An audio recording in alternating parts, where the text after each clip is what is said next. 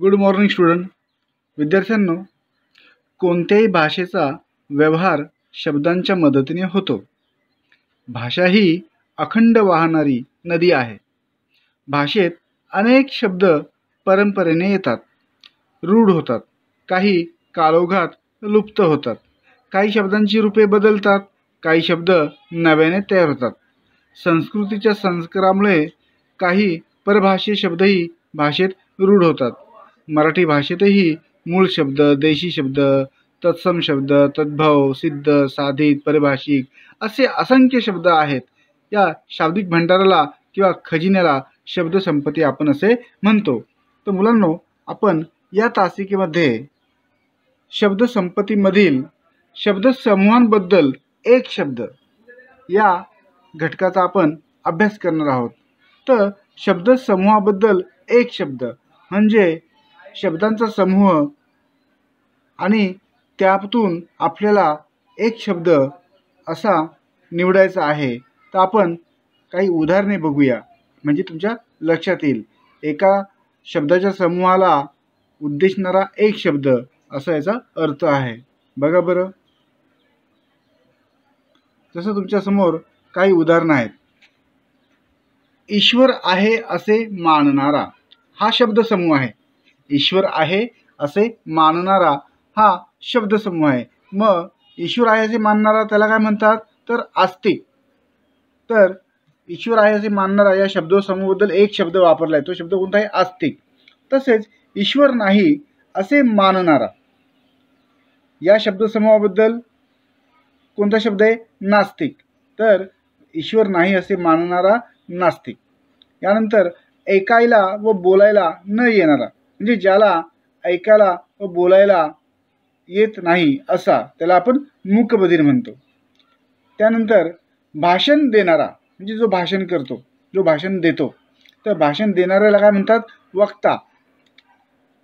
त्यानंतर भाषण ऐकणारा जो भाषण ऐकतो शांतपणे त्याला काय म्हणतात? श्रोता. कधीही जिंकला न जाणारा त्याला काय म्हणतो आपण? अजिंक्य. ज्याला कधी जिंकता येत नाही असा अजिंक्य. कविता करणारा जो कविता करतो त्याला आपण कवी म्हणतो. म्हणजे हे शब्दसमूह आहेत. या शब्दसमूहासाठी एक शब्द थोडक्यात. नंतर कविता करणारी कवयित्री. कविता करणारी कवयित्री.